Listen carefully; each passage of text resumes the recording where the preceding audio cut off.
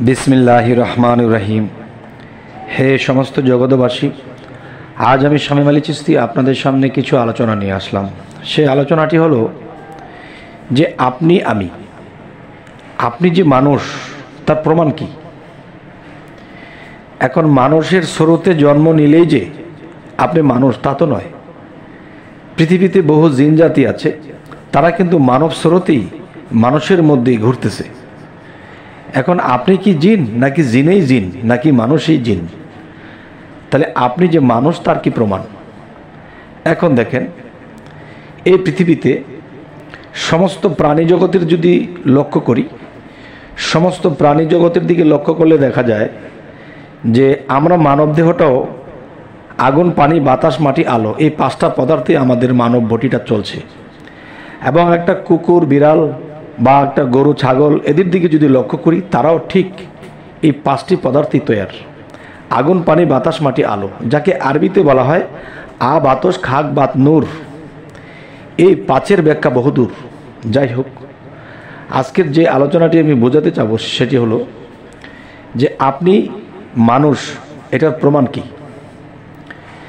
দেখা যায় যে একটি ভাষ্যকারে বলা হয়েছে হাত পা নিয়ে জন্ম নিলে মানুষ তারে কয় না। আবার বাঘের ক্ষমা কেউ লাগালে সে বাঘ হতে পারে না। তাহলে দেখা যায়, আমরা এই পৃথিবীতে মানুষের স্রোত নিয়ে এসেছি। এখন মানুষের স্রোত নিয়ে এসেছি, কিন্তু মানুষের কার্য করি না। এখন দেখা যায়, বিভিন্ন খারাপ করতে করতে বিভিন্ন পাপ করতে করতে করতে করতে এমন একটা পর্যায়ে চলে গেছে যে আমাদের ভিতরে যে মানুষটা, সেই মানুষটি এখন মানুষের স্রোতে নেই। সে হিংস্র পশু হয়ে গেছে। এখন হিংস্র প্রাণীর মুখের মধ্যে যদি মানুষের ক্ষমা লাগিয়ে দেওয়া হয়, তাহলে কিন্তু তাকে মানুষ বলা হবে না। এখন আমাদের দেহের ভিতরে যে আত্মা, এই আত্মার মধ্যে যদি দেখা যায় এই আত্মার পোশাকটাই হলো আত্মার যে ক্ষমা, এই ক্ষমাটাই হলো মানব স্রোত এখন আত্মাটাকে যদি আমি পশু বানিয়ে রাখি, তখন এই আত্মার মধ্যে যেমন মানুষের ছবি লাগিয়ে দেওয়া হয়েছে, কিন্তু ভিতরটা তার পশু। তাহলে আমরা কি করে বুঝব যে আমরা মানুষ হলাম? তো হে সমস্ত জগতবাসী যে হাত পা নিয়ে জন্ম নিলে মানুষ তারে কয় না? এবং একটা পশুর মুখে মানুষের ক্ষমা লাগিয়ে দিলেও তাকে মানুষ বলে না। আচ্ছা এই কথাটি আজকে এ কারণেই বলছি, কিছু কিছু মানুষ এই কথাগুলো বলে থাকে যে, আমরা মানব জন্ম পেয়েছি, আমরা শ্রেষ্ঠ আমরা শ্রেষ্ঠ, আমরা মানব জন্ম পেয়েছি। আঠারো হাজার মাকলুকাদের মধ্যে মানুষ শ্রেষ্ঠ, আর সেই মানুষ আমরা হয়েছি। আচ্ছা আঠারো হাজার মাকলুকাদের মধ্যে যে আপনি শ্রেষ্ঠ, এটা শুনে বলছেন, কিন্তু বুঝে বলেননি, জ্ঞান দ্বারা বলেননি। তাহলে বুঝে বললে সেটা কি হবে জানেন? বুঝে বলতে গেলে সেটা এটাই হবে, আপনি সারাদিন বা সারা সপ্তাহে কি করেছেন? আপনি যখন ঘুমোতে যাবেন, তখন আপনি সেই এক সপ্তাহের জিনিসগুলো টান দেন। দেখবেন আপনি কারোর সাথে মিথ্যা বলেছেন। আপনি কারোর সাথে একটা প্রবঞ্চনা করেছেন, আপনি কাউকে ঠকিয়েছেন, আপনি আপনকে পর করে দিয়েছেন, আপনি আল্লাহর বিরোধিতা কিছু কাজ আপনার কথার দ্বারা, চলার দ্বারা হয়ে গেছে, তখন কিন্তু আপনি দেখবেন যে আপনার অনেক অন্যায় হয়ে গেছে। তাহলে অন্যায় যে জেনে করবে, বুঝে করবে, তার কিন্তু ক্ষমা হবে না। আর যে না জেনে করবে তার ক্ষমা হবে। তাহলে আপনি সারা সপ্তাহটা যখন আপনি এক রাত্রে শুইতে গিয়ে দশ মিনিট স্মরণ করেছেন, তখন আপনার খারাপগুলো আপনার চোখের সামনে ভেসে উঠেছে। আচ্ছা যখন ভেসে উঠল সমস্ত খারাপগুলো, তখন আপনি কীভাবে বলবেন যে আমি একজন শ্রেষ্ঠ মানুষ? আঠারো হাজার মাকলুকাতের মধ্যে আমি শ্রেষ্ঠ। তখন আপনার শ্রেষ্ঠ থাকবে না। এই জন্যই একজন কবি বলেছেন যে দেখো, সমস্ত পাখিকে একখানে করলে ময়ূর পাখি কিন্তু সবার চেয়ে সুন্দর। সে যখন বৃষ্টি হলে নিজের পেখমটা ছড়িয়ে দেয় আর বলে যে আমি অনেক সুন্দর।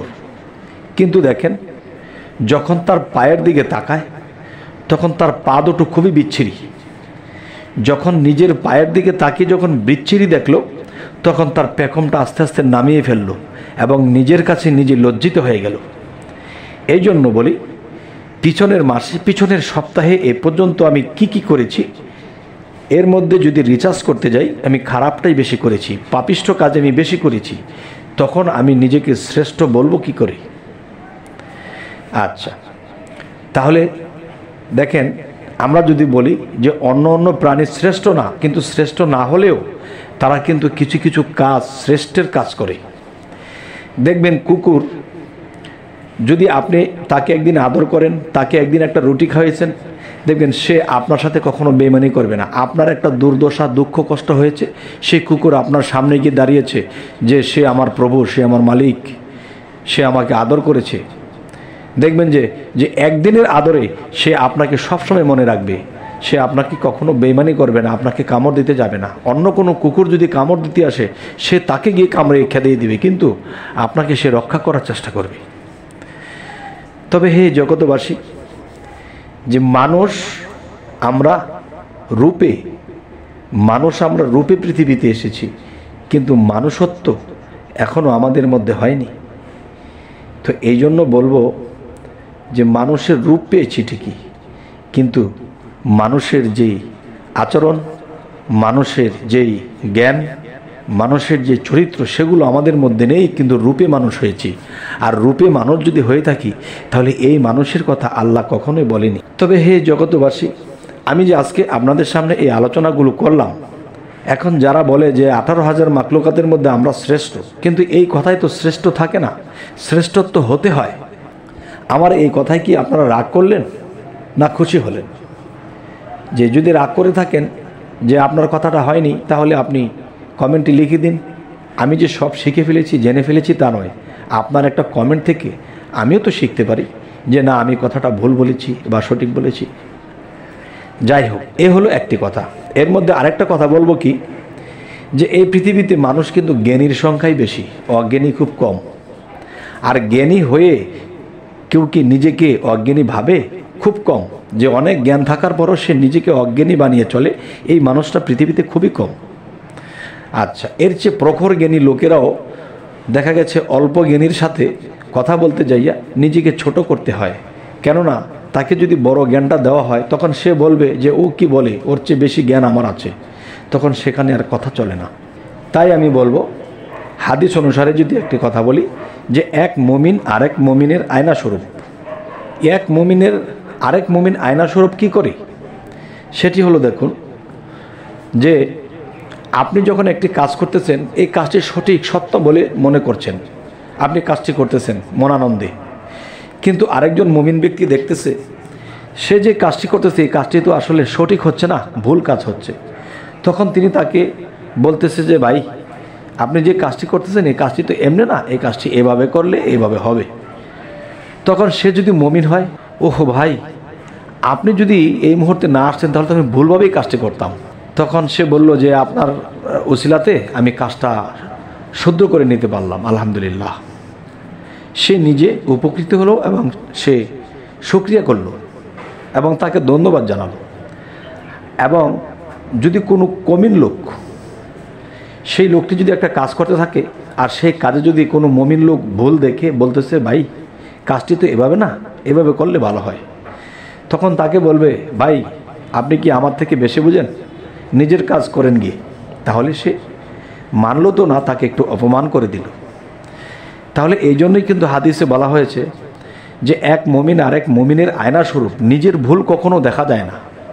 তাই অন্যের চোখ দুটো বা অন্যের জ্ঞানটা আমার কাছে আয়না। আর সেই আয়নাতে আমি যখন দেখলাম যে তিনি আমার ভুলটা ধরেছে, তিনি আমার আয়না হয়ে, তিনি একজন মমিন ব্যক্তি, তখন আমি তাকে ধন্যবাদ জানাব যে আপনার ওছিলায় আমি এই ভুলটা শুধরাতে পেরেছি। কিন্তু একজন কমিন লোক কখনো কথা বলবে না। আর তখনই আমরা চিনতে পারব যে এই লোকটা তক্র বিতক্র করল, তাকে অপমান করে দিল। তো বুঝতে হবে, এই লোকটা পথভ্রষ্ট এবং এই লোকটা মমিন নয়, সে কমিন। তবে হে জগতবাসী আজকের এই আলোচনাটি আপনাদেরকে কি বোঝাতে চাইলাম অবশ্যই কমেন্টে জানাবেন এবং আমাদের চ্যানেলে যারা নতুন অবশ্যই সাবস্ক্রাইব করে নেবেন। পরবর্তীতে আপনাদের কাছে ভালো কোনো আলোচনা নিয়ে উপস্থিত হতে পারি। আল্লাহ হাফিজ।